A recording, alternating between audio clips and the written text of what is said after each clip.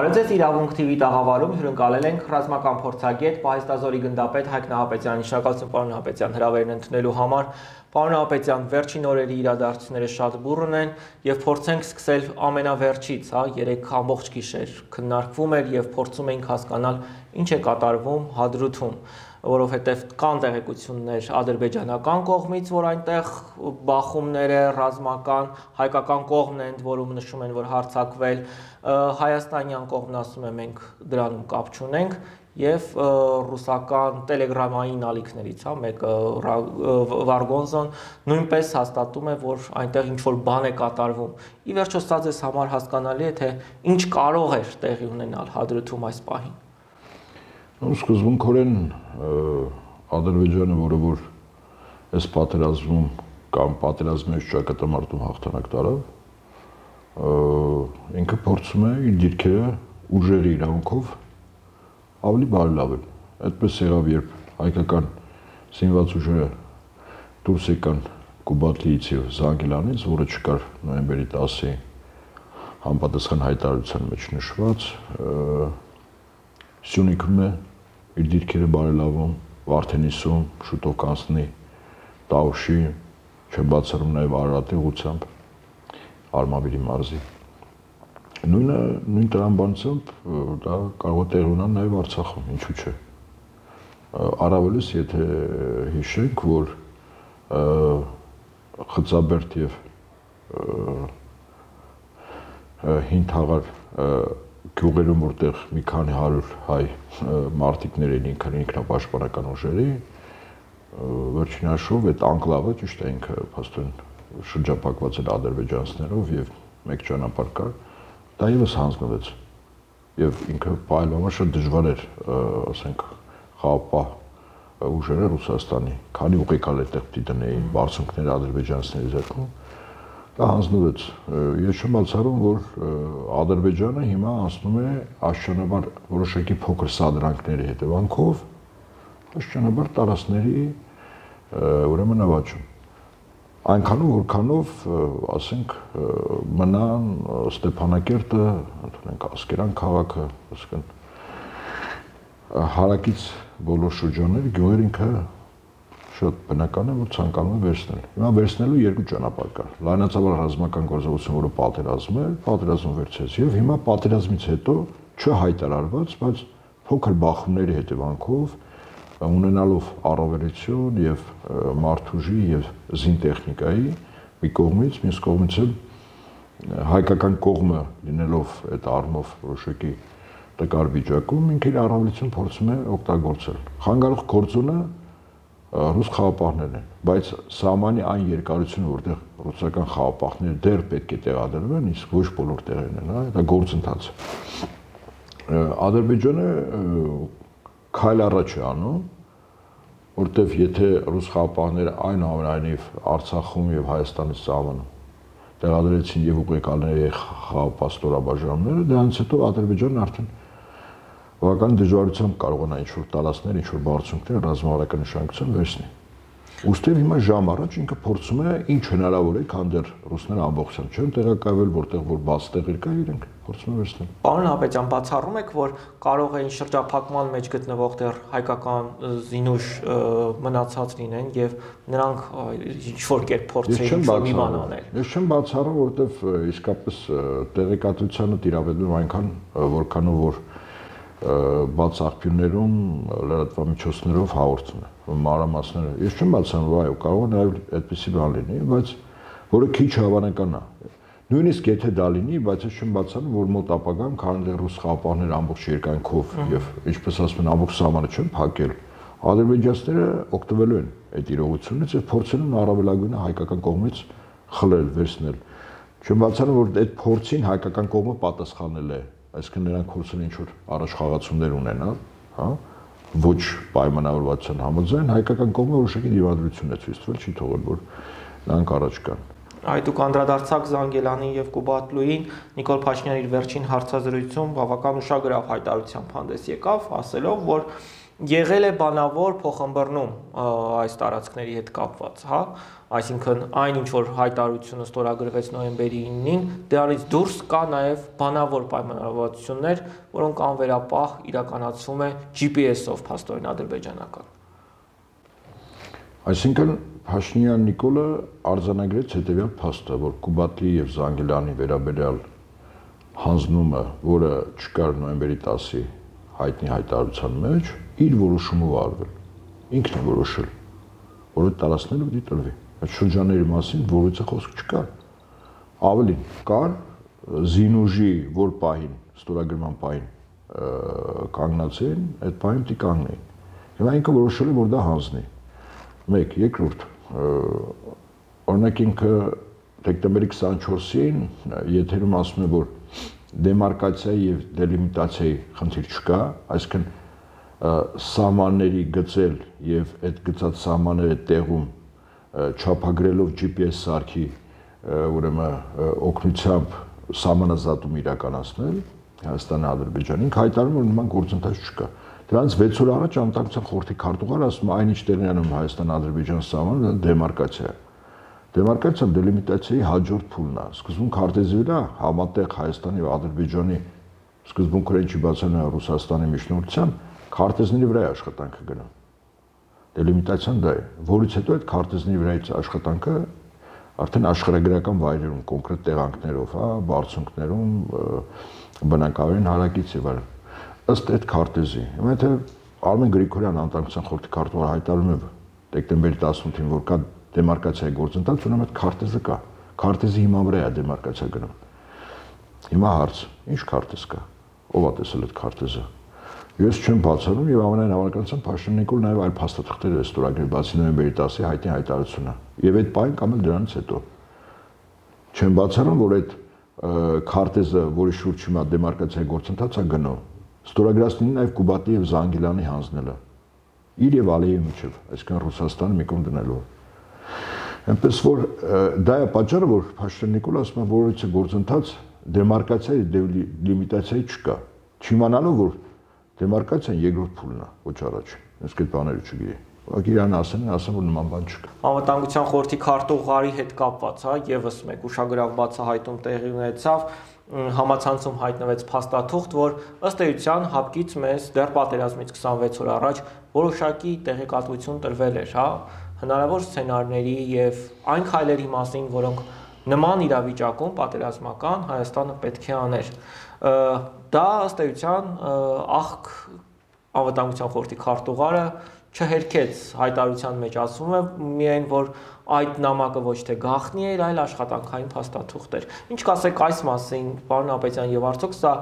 դավաճանական process էր, ինչ ինչ էր Մինչև դրա մասին ասելը մի փոքր ավելի մանրամասն, փաստը հետեւյալը, որ ազգային փրկության ճակատի իրավական խումբը, ասպես ասենք, որը ղեկավարում է Ղազինյան Արտուրը, որ նաև կուսակցության ղեկավար է, իրենք դիմել էին դատախազություն քրեական գործ հարուցելու Փաշյան Նիկոլի եւ իր վարչախմբի այս պատերազմի ժամանակ որոշակի քայլերի, որը բերել էր ցաներ հետևանքների քրեորեն պատժելի այդ մեկ հոդված երկրորդը դավաճանություն հիմա նման մի ուրեմն հայտարարություն նաև տրվել էր փաստաբանների պալատի կողմից մի քանի տասնյակ փաստաբաններ եւ հիմնավոր ավելի շուտ Փաշինյան Նիկոլի դավաճանական գործընթաց եւ այդ նամակի մեջ այն ժամանակ նշում էր նաև Կուբատլի եւ Զանգելյանի մասին, որը որ նոյեմբերի 10-ի հայտնի հայտարարության մեջ չկար նշված։ Հիմա հետաքրքիր որ 3 փաստորեն դատախազության ձերքի տակ հայտնված այդ երկու օղակների ներկայացած փաստերը քրեական գործը որ հարուցվել էր, հիմա ուղարկվել է հատուկ քնչական ծառայություն։ Ուղարկել է մի մարմին, որը Փաշինյան Նիկոլի եւ Հայաստանում Ամերիկայի Միացյալ Նահանգների դեսպանի ձեռքին գործիք են ցանկացած անձի նկատմամբ քրեական ապօրինի հետապնդում իրականացնելու համար։ Չմոռանալով, որ այդ կառույցի ղեկավարը եղբայրն է մի կառույցի, որ էս ավեր ստեղծող իշխանազավթում իրականացնող հայտնի Սորոսի գրասենյակի ուրեմն տնօրենի խորհրդի ղեկավարն է։ Անդոն երկու եղբայրներ այնքան պարզամիտ էին, Ոսի այդ սկզբում չբացահայտվեր մինչև 18 թիվը։ Եղբայրները ազգանները փոխել են։ Մեկը Խաչատրյանն էր, Սասունը, իսկ իր եղբայրը Խաչատուրյանն էր։ Մենք տարբեր ազգաններ են։ Հետո կա Խաչատրյան եւ կա Խաչատուրյան։ Հետո դրա մասին բարձրացնելուց հետո եղբայրը, որը Սորոսի հայտնի գրասենյակի ղեկավարներից մեկն է, ինքն իր ազգանը փոխել էր։ Հիմա դատախազությունը նյութերը ուղարկել է մի կառույց հատուկ քնչական ծառայություն, որը հայտնի է գործում է պետ պատվերի շրջանակում, այդ պետության անունը Միացյալ Նահանգներ։ Ձերք հետ նաև Մեծ Բրիտանիա։ Հիշեք այդ հայտնի գաղտնալսումը, որ եղավ։ Սասուն Խաչատրյանը պատվեր կատարող է։ Մի կողմից Փաշինյան Նիկոլին, մյուս կողմից սկզբունքորեն չի բացառում իր եղբոր վերադասի, իսկ վերադասը Միացյալ Նահանգների համապատասխան կառույցներն ու համապատասխան ծառայություններն են։ Հիմա այս նյութերը ուղարկել են Փաշինյան Նիկոլի եւ իր վարչախմբի կողմից իրականացված դավաճանական քայլեր կամ ծառայական անփութության, որը բերել է բականի ծանր հետևանքների, հիմնավորում էական չէ։ Կարևորը թե ինչ հետևանքներ է հա բերել մեր երկրի, մեր ժողովրդի եւ տարածքային ամբողջականության համար։ Հիմա Սասուն Խաչատրյանը պետք է քննի իր ղեկավարած կառույցը։ Հասկանալի է որ դատախազությունը ուղարկել է այդ կառույց ջրելու համար։ Մեղմ ասած, ինչ որ դարակներում պահելու կամ քննությունը տարիներով տանել։ Հիմա ինչ վերաբերում է հապկին, սա կարծում եմ այն ունեցած բազում փաստարկներից, որտեղ Փաշինյան Նիկոլը իր վարչախումբը մինչև պատերազմը ամենից արեցին, որ սպասվելիք պատերազմում հայկական կողմը գրի պարտություն, տասնյակ փաստեր կան դրա վերաբերյալ. Ուղակի եւ անուղակի։ Հիմա այս հապ փաստաթուղթը, որը որ տպվել է, սա ուղակի ապացույցն է այն բանի, որ Ռուսաստանի Դաշնությունը որպես հապկանդամ երկիր Հայաստանի Հանրապետության անվտանգության խորհրդի քարտուղարին իրազեկում է որ պետք է իրականացնեն զորավարժություն հրամանատարը շտաբային որտեղ պետք է դիտվի այն սցենարը, որ Հայաստանի նկատմամբ շատ մոտ ապագայում սպասում է կոալիցիոն ուժերի կողմից ռազմական ներխուժում եւ ագրեսիա, որում հստակ այդ կոալիցիոն ուժերը նշվում է։ Ուրեմն Ադրբեջան, Թուրքիա եւ ահաբեկչական խմբավորներ։ Ավելին, բոլոր այն հիմնավորումները, որ այդ փաստաթղթում կա, թե ինչպես է Ադրբեջանը Թուրքիայի հետ միասին իրականացնում պատերազմի նախապատրաստական գործընթացները հիմնվում է փաստական իրողությունների վրա, ոչ թե վերացական։ Նշվում է, ասենք, ապրիլից սկսած Ադրբեջանը ինչ արեց, որ ուղությամբ, որից հետո ինչ քարոշչական աշխատանքներ արեց։ Թուրքիան իհարկե այդ քանոր հրամանատարաշտաբային զորավարժությունը այդ պետությունների անորոշակի առումով փոխված է, թեև հետո կա տեղեկանք, որտեղ նշում է, որ անվանումը որ պետության մասն է, հա խոսում։ Հստակ ասում է, որ այո, պատրաստում են զորքերի, տեխնիկայի մարտավարությունն է པարս, ինչ հարվածային ուղություններ եւ այլն եւ այլն։ Այդ բոլորը այդ փաստաթղթում կա։ Ավելին, նաև կա հուշում Հայաստանի իշխանություններին, որ օր առաջ ժամ առաջ Հայաստանը պետք է այդ ամեն ինչ դեմ առնել համար դեմի հապկի։ Անկամ դեռ ձևանմուշները կար, թե ինչպես պիտի դիմի ինչ քանակով, այսինքն համապատասխան այն տեխնիկա, որը օրինակ չեզոքացներ Ադրբեջանի ու Թուրքիայի ռազմավարական առավելությունը մեր նկատմամբ, հանձինս անօթաչու թռչող սարքերի առաջին հերթին, այսպես կոչված թուրքական արտադրության բայրակթար գրոհային անօթաչու թռչող սարքերի Ռուսաստանը անպատասխան զինտեխնիկա կտրամադրեր, եթե դու դիմեիր։ Պատերազմի 44 օրվա ընթացքում եւ դրանից առաջ Հայաստանի իշխանությունները այդպես էլ չդիմեցին հապկին թե մենք parberabar ես մասնավորապես առաջին օրվանից սկսած հիմնավոր փաստարկված ասում եի ավելին ռուսաստանի Դաշնության պետդումայի падգամավորներ, պատասխանատու հանձնաժողովների նախագահներ, փոխնախաներ parberabar բարձրաձայն են դրա մասին, թե ինչու Հայաստանը չի դիմում։ Հիշեք Ալեն Սիմոնյանի մանևրումները պարոն Զատուլինի հարցմանի պատասխան, թե ինչու Հայաստանը չի դիմում հապկին։ Վերջին հաշվով ագրեսիա տեղի ունեցել։ Օրինակ լավագույն փաստը, երբ Հայաստանի տարածքում Ադրբեջանի կողմից խոցվում է մեր ռազմական տեխնիկան, ասենք, հակաօթային պաշտպանության միջոց։ Ավելին Ադրբեջանը չի հերքում դա։ Ի վերջո ինչու չդիմեցին, պարոն Հապետյան։ Որովհետև Փաշինյան Նիկոլին եւ իր վարչախմբին մենք մենք ով է բերել իշխանության։ Իրականում Հայաստանում տեղանցել 18 թվականի ապրիլ-մայիսին պետական հեղաշրջում։ Փաշինյան Նիկոլը այդ պետական հեղաշրջման գործիքներից մեկն է այնպես ինչպես օրինակ առավել արժեքավոր է ժամանակ ոչ այդքան Փաշինյան Նիկոլի ստախոսությամբ եւ մանիպուլյացիայով լեցուն խոսքը ասած ժողովրդին ավելի արժեք ուներ ունա կյանքի խոսքի մի քանի հազար անդամներ, 10000-ից ավելի անդամներ, որոնք առավել ագրեսիվ եւ արմատական փակում էին Երևանի եւ Հանրապետության այլ քաղաքներում փողոցները։ Դա ավելի արժեքավոր է։ Առանց այդ ուժի Փաշինյան Նիկոլը իր դեգեներատների թիմով մի 30-40 հոգի, որից է գործողություն չէր կարող անել։ Եվ հետաբար Փաշինյան Նիկոլին բերել են իշխանության կոնկրետ ինչ-որ խնդիրների համար։ Ես մասնավորապես եզակիներից մեկը Փաշինյան Նիկոլին անգամ իշխանություն բերելուց առաջ այդ վտանգների մասին ասել եմ, եւ ասում եմ Փաշինյան Նիկոլն է բերել իշխանության, որին բուն նպատակը Արցախ ամբողջությամբ հանձնելը, ամբողջությամբ եւ ՆԱՏՕ-ի սահմանը այդ ժամանակ իդեմս Թուրքիայի զինուժի Հայաստանի սահմանի մոտ էր գալու կան ՆԱՏՕ-ի զորքերը։ Եվ այն ինչ որ տեղի ունեցավ Ռուսաստանը եւ նոյեմբերի 9-ին պարտադրեց Փաշինյան Նիկոլին պարտադրել է։ Ինչու որտեղ ըստ սցենարի Արցախը ամբողջությամբ դի հայաթափվեր եւ դրա լավագույն ապացույցն է եւ Սամվել Բաբանը այն ժամանակ Արցախի հանրապետության անվտանգության խորհրդի քարտուղարը նախագահ Արայք Հարությունյանը այդ խոսելուց ասում է, որ ռուսներից խնդրենք 10 օր գոնե միջնորդեն, որ կարողանանք ամբողջ բնակչությանը տարհանել Արցախի։ Որտեղ փաթեթով այդպես էր պայմանավորված։ Արցախը ամբողջությամբ հանձնվեր։ Ավելին Նախճիվանի հետ կապված հիշենք Թուրքիայի հետ քիրվայության գաղափարախոսներից մեկին Լևոն Տեր-Պետրոսյանին այդ Մեղրի Միջանցկով Թուրքիայի հետ հարաբերությունների բարելավման, տարածաշրջանում կոմունիկացիաների բացման, այդ նույն Լևոն Տեր-Պետրոսյանի այն ժամանակվա ծրագրերը, որը Միացյալ Նահանգների Մեծ Բրիտանիայի եւ Թուրքիայի ծրագրերն են, մասնավորապես իրագործեց Փաշինյան Նիկոլը։ Դրա համար Փաշինյան Նիկոլը երբևիցե դեմ չէր կարող կանգնել կամ դիմել հապկին։ Փաշինյան Նիկոլը ուղակի իր սենյակում ենթադրենք ավտոմատի մի քանի կրակակահերթով, ասենք կարող էր ոչնչացվել։ Նույնը ամերիկացիների կողմից։ Իհարկե նրանք սովոր են այլոց ձեռքով, հա, մի վիրիժարուի, մի խեղկատակի, մի հոգեկան հիվանդի կամ եւ այլն։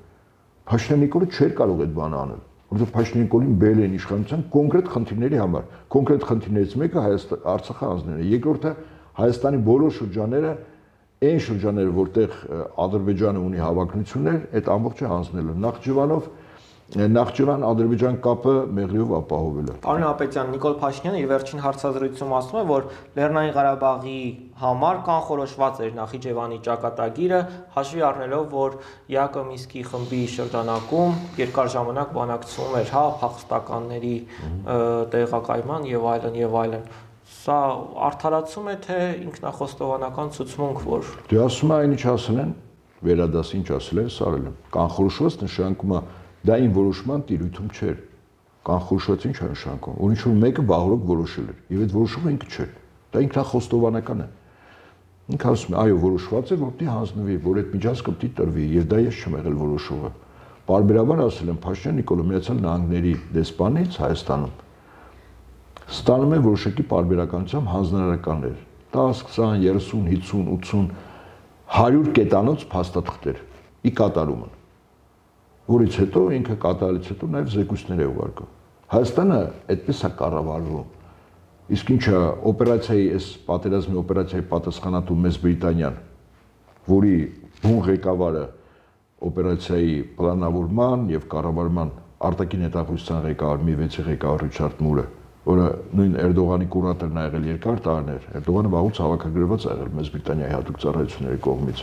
Մուրն էլ աշխատել է երկար ժամանակ Թուրքիայում անհետև դեսպան եւ այս պատերազմից 1.5 ամիս առաջ նշանակվեց մի վեցի ղեկավար։ Այսինքն կարևորագույն օպերացիա պետք իրականացվեր։ Պլանավորումը եւ կառավարումը իրականացվել է Մեծ Բրիտանիայից։ Իհարկե Միացյալ Նահանգների համաձայնությամբ եւ օժանդակությամբ։ Տեղում կիրառողները այս պատերազմում եղել են Թուրքիան, Ադրբեջանը, իրենց զինուժը եւ աբեկչական խմբավորումները։ Դրան գումարվում է նաեւ Հայաստանում 6-ով շարասյուն, այսինքն իշխանություն, որը մեր պետության ազգային եւ պետական շահերի դեմ աշխատել։ Եվ դրա առաջին ճուտակը Փաշինյան Նիկոլն է։ Ինչ ուզում եք Փաշինյան Նիկոլը կատարեր հապկի պարտավորությունը կամ կենտրոնական հետախուզական վարչության ստորաբաժանում հանձնացող Transparency International կառույցի ղեկավար նախկինում Արմեն Գրիգորյանը դրանք են կամ նույն ԿՀՎ-ի ստորաբաժանում հանձնացող խաղության կորպուսի կադրային աշխատող կամ կադրային սպա ազգային ժողովի իմ քայլ խմբակցության ղեկավար Լիլիթ Մակունցը ինչ դրանք տանի։ Արմեն Այսինքն գործա գործակալական ցանց իշխանությանը բերված, բերվածը նպատակի համար է, մարդիկ պիտի անեն այս քայլերը։ Ցավոք սրտի մեր ժողովուրդը, երբ որ ասում են իշխանության բռնազավթում ա եղել եւ նրանք ովքեր որ բերվել են իշխանության, բերվել են կատարելու Հյուսիսատլանտյան դաշինքի ՆԱՏՕ-ի անդամ երկրների ծրագրերը տարածաշրջանում մեծ պարտության մատնել ռազմական առումով եւ Հայաստանից դուրս դնել ռուսական ներկայությունը դրա լավագույն ապացույցներից մեկը այդ փաստորեն երեք հրապարակված այդ հապ փաստաթուղթն է, որտեղ հապկը աներկբա միանշանակ Փաշինյան Նիկոլին անվտանգության խորհրդի քարտուղարի միջոցով փոխանցում է, որ քո երկիրը, քո կառավարած երկիրը պատերազմը չա մտնելու SSS ուղություններով, SSS ուժերով Պարոն Ապեջան, Արմեն Գրիգորյանի հրապարակած, հա, parzabanման մեջ բոլորովին այլ իրականություն է ներկայացվում։ Ասում եք այնտեղ խոսքը զորավարժությունների մասին էր, որը տեղի է ունեցել, այն էլ on-line որևէ նույնիսկ իրական, հա, զորավարժություններ տեղի չեն ունեցել։ Ռուսերենի վատ իմացության մասին է սա խոսում, կարդացել են չեն ընկալել, թե երկու տարբեր փաստաթղթերի մասին է խոսքը։ Չէ, Արմեն Գրիգորյան նույն փաստաթղթի մասն է, ես նայել եմ նաև հղումը հապկի պաշտոնական էջում, որտեղ Արմեն Գրիգորյանը իր պատասխանից հետո տվել էր հղման հասցեն։ Այդ հղումը, այն ինչ որ տեղի ունեցել հապկ, այսպես ասած, այդ հրանտաշտաբային զորավարությունը, սեպտեմբերի 16-ին, չեմ սխալ 16-19 որից ձևով աղերս չունի այն փաստաթղթի հետ, որի որտեղ ստացել էր ինքը սեպտեմբերի 1-ին, ինքը ասելով անտանցության խորհրդի կարտուղարությունը, որտեղ վտանգների մասն էր։ Հակադարձելով Միքայել Մինասյանի հիմնավորումներին, թե իրականում ավելի ճարվեց, որ այդ փաստաթուղթը մի կողմ դրվի եւ փաստաթղթի մեջի վտանգները համաժեք ձևով չգնահատվեց եւ կանխարգելիչ քայլեր չարվեց 44 վար ընթացքում Հայաստանը երբեցի չդիմեց հապկին Սա ըստ Միքայել Մինասյանի գրանտականի Արմեն Գրիգորյանը ընդհանրապես ցույց է տալիս, որ ինքը գիտի ինչ ասել է գաղտնիության աշճան եւ ինչ ասել է ուրեմն ռուսերեն կոչվում դե դե է DSP դասուժումն պոզիցիան, այսինքն աշխատանքային գործունեության, ոչ հրաապարական, ինքը գաղտնիցն է։ Ինքը ցույց է տալիս, որ ինքը այդ բաները գիտի։ Օրինակ այդ տիպ պատասխաններ Միքայել Միրասյանն, օրինակ լավ կլներ համարժեք, անհամարժեք պատասխանը, օրինակ իր սեռական կողմնորոշման մասին, իր այլասերումների մասին գրեր։ Այդ տրամբանության մեջ շատ ավելի խոսուն կլներ իր պատասխանը, քան երբ ինքը փորձ էր անում հապկեն փաստաթուղթը, որը սեպտեմբերի 1-ին Հայաստանի Հանրապետությունը ստացել է եւ մատը մատին չի խփել Փորձում է հիմնավորել, որ դրա մեջ սովորական ամեն ինչ է, ինչպես նախկինում, ինչպես նախկին զորավարժությունն այնպես էլ այստեղ։ Տաթղթի մեջ Ռուսաստանի Դաշնությունը եւ հապ քարտուղարությունը վտանգները փաստարկում էին օրինակներով նշելով այսինչ ամսի այսինչ օրը եղել է սա, Ադրբեջանը արել է սա, Թուրքիան արել է սա։ Այսինքն երբ որ հետևություն են անում այս տեղիկանքը, որ ուղարկվել է Հայաստան, իրենք հետևությունն անում արկա իրողությունների, ոչ թե տեսական։ Ըստ Արմեն Սարգս, Արմեն Գրիգորյանին ասում են ինչ որ տեսական միշտ էլ արել ենք այդպես, չէ։ Միշտ այս վտանգները չի նշվել։ Այստեղ միշտ այս բանը նշվել է առարկայական վտանգները ավելին հակառակորդի պատրաստվածությունը, ինչ ուժեր են ներգրաված, անգամ նշված եղել որ ահաբեկչական խմբավորումներ, անուններով, որտեղ են եկել, Թուրքիայի որ քաղաքներում են, սեպտեմբեր ամսին 2000-ից ավել ահաբեկիչ արդեն Թուրքիայի մի քանի քաղաքներում են եղել։ Այս ուղարկած փաստաթղթի մեջ այդ ամենը նշած է։ Ինչ տեսական։ Երեմ ասում, Արմեն Արմեն Գրիգորյանը ավելի լավ է իր սեռական կողմնորոշան ու այլասեռումների մասին պատասխանում։ Ինչ մարդկանց երևի ավելի հետաքրքրություն կառաջացնի, քան այն հիմարությունը, որ ինքն է գրել։ Բայց կա նաև այս հարցը ունի նաև մեկ այլ կողմ։ Ինձ համար օրինակ པարզ չի այս պահին եւ դուք որպես լրատվամիջոց ես խնդրեիք հորդորի ճշտել այն փաստաթուղթը, որը Արմեն Գրիգորյանը ստացել է։ Հայաստանը մի պաշտոն է, ովքեր են ցանոթացել։ Սեպտեմբերի 1-ին հապ քարտուղարությունից ուղակած փաստաթղթի մասն է խոսքը, որ մասին հիմա մենք զրուցում ենք, այո։ Ովքեր են իմացել Արդյոք այդ փաստաթուղթը քննարկվել է անվտանգության խորհրդի նիստում։ Եթե այո, այդ անվտանգության խորհրդի նիստի ժամանակ ովքեր են մասնակիցներ եղել։ Որտեւ այստեղ ամենայն հավանականությամբ կոլեկտիվ պատասխանատվություն է։ Որտեւ անվտանգության խորհուրդ հոմյային քարտուղարը ու նախագահը չի, այնտեղ եւ քաղաքացիական եւ ուժային կառույցների ներկայացուցիչներ կան ազգային ժողովի նախագահ, պաշտպանության նախարար, գլխավոր շտաբ պետ, այլ ֆրակցիայի խմբակցության ղեկավար եւ այլն եւ այլն։ Նախտի ճշտվի են շրջանակը, ովքեր որ ծանոթացել են սրան եւ ի պաշտոն է ուրեմն քվեարկություն գնացել է արդյոք այս փաստաթղթին ինչ ընթացք տալ, ով ինչա քվեարկել եթե նման հարց։ Ես կխնդրեի իսկապես կարևոր է որ մեր ժողովուրդը եւ նրանք ովքեր որ քաղաքականությամբ առավել մասնագիտորեն են զբաղվում եւ փորձագիտական շրջանակներում բարձ լինի։ Վերջին հաշվով ամեն ինչ Փաշինյան Նիկոլի վրա պետք չի բարդ։ Փաշինյան Նիկոլը մեր մենակ չկա, ռազմաքաղաքական թիմ, որի ղեկավարը ինքն է եւ պատասխանատվությունը միայն ինքը պետք չկրի։ Սկզբունքորեն երբ Վազգեն Մանուկյանը եւ իմ ազգային փրկության ճակատացն որ Նիկոլ հերացի կոչը, չէ։ Նիկոլ ուր հեռանա։ Նիկոլը չպետք է հեռանա։ Նիկոլը եւ իր թիմը այս բազում արկա փաստերի հիման վրա, որոնցից մեկը նաեւ էս հապկան պատասխան փաստաթուղթներ պիտի ձերբակալվի քրեական գործի շրջանակներում եւ պատասխանության ենթարկվի։ Ես չեմ ուզում այսպես եթե փորձեմ այդ այգին քարկցել, այսօր Փաշինյան Նիկոլի հրաժարականը հիմնականում ուզում են նրանք, ովքեր Փաշինյան Նիկոլին բերեցին իշխանության։ Իսկ իրենք այս ավերը գործելուց հետո Փաշինյան իրենք գոնե ապաշխարել են, հրաապարակավասել են, որ մենք սխալվել ենք Փաշինյան Նիկոլին, որ բերել ենք մեր սխալների գինը այսօր որ քաղում ենք, ես անունը չտամ կուսակցությունների, խմբակցությունների, դուք ինքներդ լավ գիտեք, նաև այն մարդկանց, ովքեր Փաշինյան Նիկոլի կառավարության մեջ բավականին բարձրացան պաշտոններ էին զբաղեցնում։ Ասում մարդիկ ասում Փաշինյան Նիկոլը հեռանա, չէ, չպետք է հեռանա։ Փաշինյան Նիկոլը իր թիմով դի պատասխան տա օրենքի առաջ, ձերբակալվելով, քննություն գնալով, քրեական գործի շրջանակներն, որ հիմա հատուկ հնչական ծառայությունն է Երևանից։ Այդ մեկ, երկրորդ, բոլոր այն ուժերը, ովքեր իրականացեցին եւ օժանդակեցին Փաշինյան Նիկոլի կողմից պետական հեղաշրջումը սանրական կարգի տապալմամբ, իրենք եւս պատասխան են տալու։ Այդ ուժերը մասնակից են այսօր Փաշինյան Նիկոլի հրաժարական ուզող ուժերը իրենք մասնակից են եղել Հայաստանում սանրական կարգի տապալմանը։ Իրենք էլ պիտի պատասխան տան։ Այդ թվա որ Փաշինյան Նիկոլին հերացրեցին ինչ որ մեկ ուրիշ ղեկավար եղավ իրանք պատասխանությունը իրանց ուսերից դենա դրոն չի դրվելու Մենք հիշողության կորստով չենք տարածում այնպես ինչպես իրանք։ Իրանք էլ են պատասխան տալու։ Ազգային ժողովում պետական հեղաշրջման փորձով սանրական կարգի տապալմով ինչպես էին պարտադրում։ Ինչպես կանգնեցին Փաշինյան Նիկոլի կողքը, հա? Փաշինյան Նիկոլի ապօրինությունները ինչպես էին ծածկադմփոց անում, այդ հատուկ ծառայությունները։ Մարդիկ մտածում որ մենք մոռացել ենք, մենք չենք մոռացել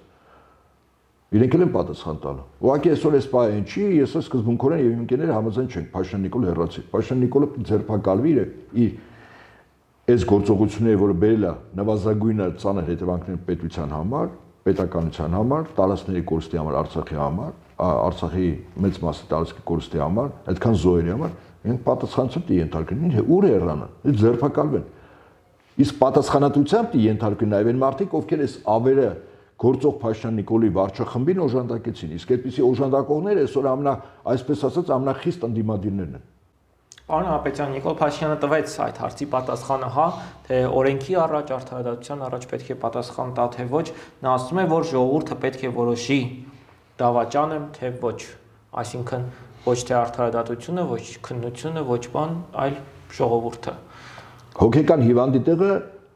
Բուշ հաստատությունն է։ Պարբերաբար Փաշինյան Նիկոլ իրան գժի տեղ ադնում, չլնելով պրոֆեսիոնալ գիժ, այո, ինքը հիվանդ է։ Այդ մարդը հիվանդ է, բայց այն ինչ որ անում է, այստեղ ինքը փորձում է ինքը գիժ ձևանալ։ Ժողովրդը ոնց բա պետական կառույցներին չի համար են։ Այդ ուղակի Վազգեն Մանուկյանին եւ իր թիմին, ովքեր իր հրաժարական պահանջում են, ասում են, այ ձեր կողքը կանգնած որքան մարդ կա։ Ժողովրդը չի։ Ժողովրդի մեծ մասը Ինչ է պաշտպանում, եթե իմ դեմ լիներ փողոց քիշներ այնպես ինչպես 2018 թվականին Սերժ Սարգսյանի վարչակազմի դեմ էր։ Սա դրա համար ասում։ Բայց իրականում ժողովուրդը չի արդարացությունը բոլոր այն կառույցները, որոնք կոչված են մեղավորներին հայտնաբերելու, քրեական գործեր հարուցելու, դատելու եւ այլն, դրանք պետական հաստատություններ են։ Դատարաններն են, որը որ անկախ դիլնի իշխանության մյուս թևերից, հա, այդպես պետք է արվի։ Այնպես որ Փաշյան Նիկոլի ժողովրդի մասին որ խոսում է ուղակի Վազգեն Մանուկյանին եւ ընդ կոմպանի, ասում է դուք հələ հավաքեք այնքան մարդ իշքան որ ես եմ հավաքել։ Չունեք հայտնի ներկայացիք իշխանապողցան։ Պարոն Ապետյան, մենք տեսանք, որ իշխանության ողջ ռեսուրսներով, հա, կազմակերպված երթնել այդքան մեծականակ չէր։ Ըստ էության հանրապետության հրաապարակն էլ չի լծվում ժողովրդով։ Ի վերջո, ինչ է ուզում ժողովուրդը եւ ո՞րն է ստեղծված իրավիճակի ելքը։ Ժողովուրդը պիտի գիտակցի, որ այն վտանգը, որը եղավ երեք Արցախում, կորուստի տեսքով, տարածքի եւ մարդկային այդ վտանգը այսօր Հայաստան է մտել Սյունիքով, Վարդենիսով, շուտով ամենայն հավանականությամբ կլինի Տավուշում, Արարատում։ Այդ Երևանցին թող մտածի, որ այդ վտանգը սկզբունքորեն չի բացառում, որ նաև իր տուն մտնի։ Վերջերս մի տեսանյութ էր հրապարակվել Ադրբեջանստանի նկարել, որտեղ Սևանից վական հերավորության վրա Սևանը երևում էր։ Իրենք էլ ապարում էին Փաշյան Նիկոլն էին գովերքում։ Հետո Գեղարքունիքի մարզպետը, որը Փաշինյան Նիկոլի կուսակից, գաղափարակիցն է, ասաց, նման բան չկա երկում։ Ադրբեջանցիները երկրորդ տեսանյութը շատ ավելի մոտ Սևանին տեղադրեցին։ Այն ժամանակ մի փոքր լճակի նման տարածք էր, իսկ հիմա Սևան ամբողջությամբ իրենք են բավական մոտ տարածքում։ Հիմա Փաշինյան Նիկոլը Հայաստանի բոլոր այն սահմանները, որտեղ անգլիացիները, ամերիկացիները որոշել են, որ պիտի տրվի, եւ Հայաստանը որպես այդպեսին պետական կազմավորում ընդհանրապես ապագայում ոչինչ չի կարողանալու որոշել, թուրքական վիլայեթ հա դառնալու եւ այստեղ ժողովուրդը ողջ են մնալու այնքան ժամանակ մինչեւ Թուրքիայի նոր սուլթանը կամ իր հետնորդները որոշեն որ հայրը պետք է մնա, որ բան որ որոշեցին պիտի ցեղասպանենք, ցեղասպանել այնպես ինչպես 105 տարի առաջ։ Հիմա Փաշինյան Նիկոլը կատարում է այդ ծրագիրը։ Հիմա եթե մեր ժողովուրդը այդ վտանգը չի զգում, ինքը պատրաստ է զոհասեղանին դրվելու։ Եթե Երևանցին չի զգում, որ Սյունիքում եթե ինչ-որ բաներ վերցնում են, Արցախում վերցնում են, վաղ չեմ սուրի տուն են մտնելու, ընդ որում Ադրբեջանը Թուրքիան չեն թաքցնում։ Ասում է, что Նաումի Օրդեղան, то на языке у Алиева։ Ալիևը ասում է, Երևանը մեր քաղաքն է։ Հիմա թող Երևանցին մտածի։ Հետո Երևանցին մտածում որ այդ բանը իրան չի ինքը խիստ սխալվում է։ Արցախի մասին ով է մտածում, որ sense բան կլինի։ Բացի հատուկ են մասնագետներ, փորձագետներ ասենք որոնց մեկը նաև ես։ Այս process-ները եւ դրսի պետությունների ծրագրերը գիտեի, ոչ թե գուշակեի։ Եվ գիտեի իրենց քայլերը վերջուր ա բերելու, սանել ինչի համար են բերվես։ Պաշտան Նիկոլին իշխանության։ Հիմա Երևանցին թող մտածի։ Կամ ճամպրուկները կապմա, եթե կարող է դուրս գալ, ամեն ինչը թողի փախստականի գաղթականի կարգավիճակը ամենամոտ տարածքը Ռուսաստանը գնա այնտեղ 0-ից սկսի։ Եթե չի ուզում որ գնա, այդ ինչ որ տարիներով ստեղծել են սերնդը սերունդ եւ սիրում է իր հայրենիքը, թող կեցված դրսևորի։ Կեցված դրսևորելու երկու ձև կա։ Առաջին ձևը ասում է Վազգեն Մանուկյանը եւ իր թիմը Փաշտան Նիկոլ Հերացի, երկրորդ ձևը ես ու իմ ընկերները, որ ասում Փաշտան Նիկոլ ժամանակ ձերբակալի իր քաղաքական թիմի հետ միասին։ Երրորդը չկա։ Երրորդը Փաշտան Նիկոլ ասում է, ուր այն ժողովուրդը, որ ինձ պիտի գանկից անի։ Չկա 10-15000 մարդ Վազգեն Մանուկյանի մյուս 17 կուսակցությունների կողքը Սա է ժողովուրդը։ Ես էլ ասում եմ, որ այդ ժողովուրդը եթե դատապարտված է ինքնաոչնչացման, հիմա ինքն այդ ճանապարհն ամբռնել, որ պետք է ոչնչանա։ Ինչա այդ Բաբելոնա Բաբելոնի կայսրություն կար, Բաբելոն քաղաք կար, Հռոմ Հռոմի կայսրություն կար, Բյուզանդիա կար, ուր են դրանք։ Տարբեր ազգեր կային, Ասոր Ասորեստան կար, Հզոր, կա ուրա, չկա։ Հիմա Հայաստանը չի լինի, չէ՞ դեռ որ Բա այս մրցակցության ճանապարհ չկա, պարոն Նահապետյան։ Ի վերջո։ Ինչի համար։ Ну, կամ Վազգեն Մանուկյան, կամ Նիկոլ Փաշինյան, ըստ Ասում եմ, երրորդ ճանապարհը նա է, որոնք վտանգը շատ ավելի առարկայական է զգում։ Փաշինյան Նիկոլին չեն բերել իշխանության, իսկ Վազգեն Մանուկյանի կողքեսը ուժերը, որ Փաշինյան Նիկոլին են իշխանության բերել մեծ հաշվով իրանց պահանջը, եթե բարոյականության տեսանկյունից նայենք, անբարոյականությունն է։ Բա իր հետ եք ճանապարհանցի, իրան իշխանության եք բերել։ Փաշյան Նիկոլը իշխանություն բերելուց հետո երկրորդ փուլ է մտել։ Երկրորդ փուլում այդ ուժերը իր կողքը չլինեն։ Այդ ուժերը իր կողքը չկան։ Իսկ նրանք ինչ որ ձևով իրենց սխալների համար այդ նույն ժողովրդից ինչ որ ձևով ներողություն խնդրեցին, մեղայկան, ասին որ Փաշյան Նիկոլը սխալ է։ Ինչու պատերազմից հետո հիշեցին որ Փաշյան Նիկոլը սխալ է։ Այն դրանից առաջ չէին հիշում չգիտեին։ Կա երրորդ ճանապարհ, երրորդ ճանապարհն էլ են ուժենա, ովքեր որ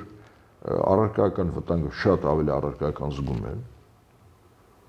Եվ սկզբունքորեն չի բացառում, որ մոտ ժամանակներս այդ ուժերը եւս որոշակի համախմբում ունենան։ Եվ այդ ուժերը ժողովրդին առաջնորդներ Փաշինյան Նիկոլի իշխանության հերացման։ Ով ասում որ Վազգեն Մանուկյանը եւ իր թիմով, որը Արմեն Սարգսյանի հետ ուրեմն հարաբերությունների մեջ է մտնում, բանակցություններ, Արմեն Սարգսյանը դառնում է հաշտարար, այսօր այս մեր երկի վիճակի համար առողջի բաժին պատասխանատվություն ունի նաև հանրապետության նախագահ Արմեն Սարգսյանը որը ոչինչ չի իմանում քնուն զարտման մամուլից իմանում որ ինչ որ հայտարարություն է ստորագրել։ Բայց կենտ մարդիկ են նրա հրաժարականը պահանջում, նույնիսկ կան քաղաքական ուժեր, որոնք գնում են նրա հետ ինչ որ հանդիպումներ։ Դե ուրեմն պատրաստ են մեր ժողովրդին մեր երկրի երկրորդ անգամ զուգահեռ սեղան դնում, որ առաջին անգամ դրեցին Արցախ, հիմա Լեհաստան են դնում։ Արմեն Սարգսյանը անհրաժեշտային վտանգի բային Հայաստանից թռնելու, այնպես ինչպես բարբերաբար թռնելու ձևերն է գիտի, ճանապարհն է գիտի, ինչ չի արել, ընտանիքը դուրսն է, բիզնեսը դուրսն են, տղաները այլ երկրի քաղաքացիություն ունեն, իր աճ գրպանում Մեծ Բրիտանիայի քաղաքացիությունն է ձախում Հայաստանի, միգուցե թաքստոցում էր Միացյալ Նահանգների։ Է Արմեն Սարգսյանն է սա, այս գործի պատասխանատուներից մեկը ինքն է, ասում է համալությամբ ինձ տրված լիազորությունների շրջանակներում լոլուներ է կարդում։ Մարդ մտածում է բոլորս բան ենք, պարզամիտ ենք։ Պարզամիտը ինքն է, որ տես բաներ է մտածում։ Դե ինչ աներ, հրաժարական պահանջում է Նիկոլ Փաշինյանը, փաստորեն։ Նա եւս Շիլը նամիլը Ես նորից եմ ասում, Փաշինյան Նիկոլը պիտի դատվի, ինչ հրաժարական։ Դատողներից մեկն էլ Արմեն Սարգսյանն ալեն։ Փաշինյան Նիկոլի ձեռքը թաթիկը բռնած պիտի գնա նստի դատանում որպես մեղադրյալ։ Ինքը այսօր հաշտարար է, ինքը կոնսոլիդացնող գործոն է դարձել Հայաստանում Փաշինյան Նիկոլի հրաժարականը։ Դու Փաշինյան Նիկոլի ավել պատասխանություն ես կրում։ Եթե Փաշինյան Նիկոլին ենթադրենք անգրագիտության, տարբեր մեղքերի մեջ մեղադրենք, չէր հասկանում, դյուրագրգիռ էր, սխալ խորհրդական էր, դու հսկական փորձ ուներ։ Մեծ-մեծ բաներ էր խոսում։ Ինքը չի կրում պատասխանատվություն իր լիազորությունների չափով։ Ասում է քնեցի զարթնեցի առավոտյան տեսա բանը հայտարարություն է ստորագրել Հայաստանի, Ադրբեջան, Ռուսաստան նախագահանը։ Ստում է Շաբաթներից առաջ իր աշխատակազմում այդ փաստաթուղթ տեղել է, այնտեղից էլ արտահուս կա եղել, որ մարդիկ բավական լավ գիտեն։ Մարդը բոլորս հիմարի տեղա դրում, հիմարը ինքն է։ Եվ բոլոր նրանք ովքեր տենց են մտածում։ Այս մի բու ժողովուրդը փոքր տասկերը բոլոր ամեն ինչը գիտեն։ Շատը դրա մասին աչուզախ չեն բարձրացնում։ Ինքն է պատասխանություն։ Առաջին պատասխանություն կրող անձածից մեկը ինքն է։ Երբ որ ես ասում Փաշինյան Նիկոլոյևի թիմը, այդ թիմի մեջ նաև Արմեն Սարգսյանն է մտնում։ Ճիշտ է, ինքը որպես թիմի անդամ չի, բայց Հանրապետության նախագահն է, ինքը պատասխանության իր բաժինը պիտի կրի։ Պարոն Հապետյան, կարող ենք արձանագրել, որ այս պահին ունենք մեկ կառույց, անսասան մնացած եւ որը կարող է հենարան լինել ժողովրդին, հայ առաքելական եկեղեցին է, որի դեմ հարցակում ըստ էության Կիրակի օրը Տարեմուտի վերջին պատարակին տապալվեց։ Այո, որպես կառույց, պետական բոլոր կառույցները, պետական բոլորը մեծ հաշվով կազմալուծված աշխատանքը։ Կար մեկը միջև պատերազմ բանակներ, զինված ուժերի շտորաբաժանումը, զինված ուժերի մյուս շտորաբաժանումը ԱԱՑ-ը եւ ոստիկանությունը բերել էին ոչ պրոֆեսիոնալ ղեկավարներ, որոնք Փաշտան Նիկոլը Թաշկինակի օգտագործած փոխում էր ղեկավարների, գլխավոր վարչությունների պետերի հետ կառույցները քանդելու համար։ Բանակներ մնացել, բանակները պատերազմից հետո պարտվեց, բարևլեկվեց, տեխնիկայի մեծ մասը խփվել է։ Պետական կառույց չկա կա ազգային կառույց։ Հայ առաքելական Սուրբ Եկեղեցին ազգային կառույց է։ Միակ կառույցը, որը կարող է կազմակերպական որոշակի ձևեր ընդունել, իր շուրջը կոնսոլիդացնել, ինքը հեղինակությունը 1700 տարվա կառույցը անցել է բոլոր փորձություններով մեր պետության բացակայության պայմաններում գոյատևել է, մնացել է, չի ոչնչացել։ Մեր հակառակորդի համար, այո, թիվ 1 կառույցը խոցելիության առումով իրենց ծրագրերի ցախողման դա եկեղեցին է, եկեղեցու շուրջ կարող լինի կոնսոլիդացիա։ Իդեպ տեսակ 3 այդ կոնսոլիդացիան շատ արագ եղավ, երբ որ մի խումբ մարդիկ աղանդների ներկայացուցիչներ, ապստամներ եկեղեցու իրենց զավակ կոչող, որոնք 18 թվականի հունիս հուլիս ամիսներին փորձում էին, հա, եկեղեցում իշխանապողություն իրականացնել նոր Հայաստան, նոր կաթողիկոս կարգախոսով եւ նաեւ ներկա իշխանությունները իրենք օպերացիա այո պլանավորել էին եւ փորձեր արվելու գրոել եւ եկեղեցին եւ կաթողիկոսին ես եւս ներկայ եմ եղել դուք եք ներկայ եղել տեսել ենք որ ընդհանրապես մի փոքր կոչով մի քանի հազար մարդ այդ ցրտին մի քանի ժամ դրսում սպասեցին կային նաեւ նաև երիտասարդ տղաներ, որոնք պատրաստ են անուսան դեպքում նաև կոշտ դիմադրություն ցույց տալ։ Իշխանությունը տեսավ։ Մեր ճշնամինը տեսավ, որ եկեղեցին իր համար այսօր խնդրեմ է, որտեղ եկեղեցու շուրջը կարող է գնի գնա հայության եւ Հայաստանի Հանրապետության առողջ ուժերի համահավաք լինելու գործընթաց։ Այնպես ինչպես 1918 թվականին, երբ Հայաստանի ռազմաքաղաքական ղեկավարությունը մայիս ամսին որոշել էր, որ Երևանը պիտի հանձնի Սարդարաբատուն կռի պիտի չտա, եկեղեցու եւ կաթողիկոսի որոշմամբ ամբողջ ժամանակ զանգեր հնչեցին։ Իլուր հայության, իլուր Հայաստանում ապրող մարդկանց, որ պետք է զենքվեցնել եւ հայնիկը պաշտպանել։ Իրական Սարդարաբատի հաղթողը ֆիզիկապես զինվորն ա եղել, սպան ա եղել, բայց ոգի կոչող եւ կազմակերպող ուղղակի եկեղեցին ա եղել։ Թախտանք առաջնորդին եկեղեցու հաղթանակ, եթե չլիներ կաթողիկոս կեցվածքը, Երևանը տրվում է, իրեն էլ առաջարկում են գնալ Սևան հոգեվորականության հետ միասին, նաև եկեղեցու գանձերի հետ միասին։ Հիմա նույն վիճակն է։ Այդ զանգերը հնչեցողը եկեղեցին հակառակորդը մեր ճշնամին վախում է, որ այդ զանգերը որ պայն որ հնչեցվեց, այդ կոնսոլիդացիան համավակ լինելը ստեղ կարող է լինի։ Եվ երեկվա այդ բազմաշատ մարդկանց լինելը եւ ինչե վերջ մնալը եւ վեհապարին նաև ոդկով ուղեկցելը դեպի նստավեր դրա լավագույն ապացույցն է։ Եկեղեցին էսպայն միակն է, որպես կառույց, որպես հեղինակություն, որպես հայության համահավաք լինելու ազգային ինստիտուտ մնացել է։ Դրա համար եկեղեցին թիրախավորվում է։ Պարոն Ապետյան, տարին ավարտվում է, հա, եւ 2021 թվականին ի վերջո մեզ ինչ է սպասում, արդյոք կիսում եք Վիտալի Բալասանյանի լավատեսությունը, որ հադրութը նաև մի քանի շրջաններ մերը կարող են լինել ի վերջո սա պոպուլիզմ էր, ինչպես որոշ գնահատականներ հնչեցին, թե կանխատեսում կամ բարի ցանկություն։ Եթե ինքը ինչ-որ բան ասել է, հավանաբար ինչ-որ բան գիտի։ Ես գիտեմ, որ այդ անձը պոպուլիստ չի։ Գործի մարդ է եղել։ Հիմա այս բան ինչու է ասել, դժվարում եմ։ Կան նաև գնահատականներ Փաշտեն Նիկոլ հետ հանդիպել է, որը ճիշտ է ինքը երկեց, բայց այնուամենայնիվ նորից եմ ասում, փոքր տարածք է, թակում բաներ շատ դժվար է էլի լինել, բայել կարող է հանդիպել է Փաշտան Նիկոլին ինչ-որ բան ասել է, ասել է, որ որոշակի ոգևորիչ բաներ, որ ոչ միայն կոսնելու ենք, այլև հետ ենք բերելու եւ այլ։ Իր ասացի ենթատեքստում այնպես են, որ այդ կորցրածը մեզ հետ կտան։ Չէ, ինք ասում էր մենք թավաշական ենք կնայենք, մեզ հետ կտա։ Ամենահամակացած ակնարկելով ռուսական կողմը վերականգնելով Լեռնային Ղարաբաղի ինքնավար մարզի սահմանից։ Ենթադրում եմ այդպես։ Ինքը դա էր ասում։ Ոչ թե դու զենքով գնում ես վերցնես հաղթես եւ այլ։ Ինքը տառնու լավատեսա, ես իրատես եմ Ես ավելին ասում, ավելի մեծ մարտահրավերներ անետված եւ արկա սպառնալիքներ կա, որը ավելին է, քան 3։ Եվ ավելին է լինելու, քան վաղը։ Պատերազմի տեսքով պարոն Ապետյան։ Տարածքները վերցնելու։ Ես չեմ բացառում նաև Թուրքիայի եւ Ադրբեջանի կողմից սադրանքների իրականացման հետևանքով, ասենք Նախիջևանի կողմից Հայաստանի վրա ռազմական գործողություններ սկսելու ես չեմ բացառում։ Եվ դրա համար օր առաջ, եթե առաջ մեր սահմանների անձնախիությունը եւ տարածքների պաշտպանակությունը հայկական զինուժներ ապահովում, որը հիմա, այդպես ասենք, խիստ բարեր չասեմ, բայց որոշակի առումով խնդիրներ ունի վերակազմավորման, այդպես կառույցների վերստեղծման, նոր տեխնիկայի ձեռքբերման գործընթաց, որը ժամանակատար է, հա։ Այդ դեպքում հարց առաջանում, բա այդ սահմաներով տիպահ է ինչ կարող է Թուրքիան ու Ադրբեջանը վերացական բաներ են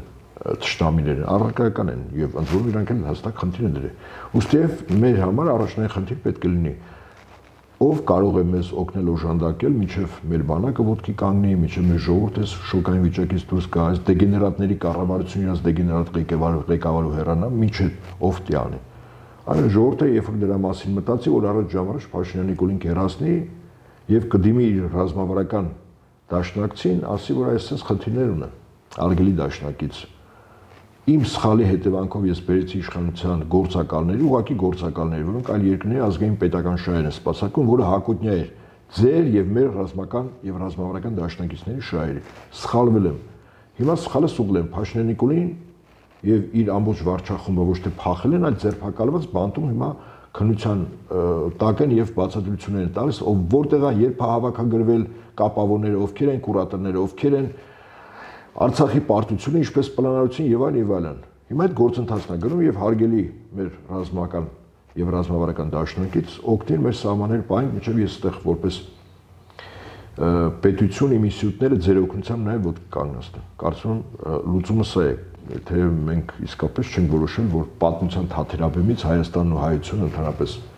որպես պետական կազմավորում վերանա։ Շնորհակալ եմ։